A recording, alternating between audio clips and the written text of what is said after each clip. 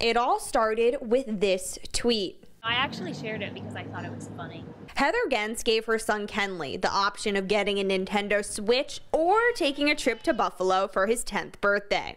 I'm a single parent, so I told him one.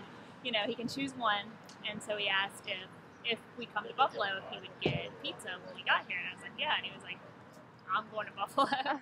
One of the owners of La Nova heard about Kenley's choice. We tweeted the mother, and right away Heather tweeted us back and said she would be in town. And of course, me, that I love children so much, I reached out to the Bills. And today, on Kenley's 10th birthday, La Nova hosted his party.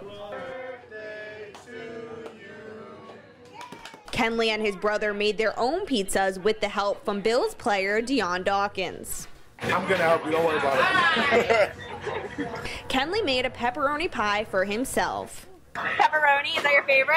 Yeah, I don't really like anything else. And he made a pineapple pie for Dawkins. His pizza came out almost perfect. Like the like like it wasn't lopsided. All the crust are like perfectly done. I'm like, man, and and this kid is a natural born winner. Dawkins says this is what Bills Mafia is all about.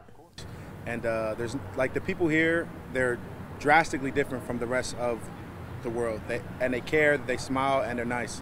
And uh, whatever he's seen, I don't know if it was on the internet or people jumping through tables or people just just and just being happy, but He's seen it, he felt it, and he connected. His mom says Kenley's 10th birthday party set the bar high for his 11th. For the town back home, now you're a professional pizza maker.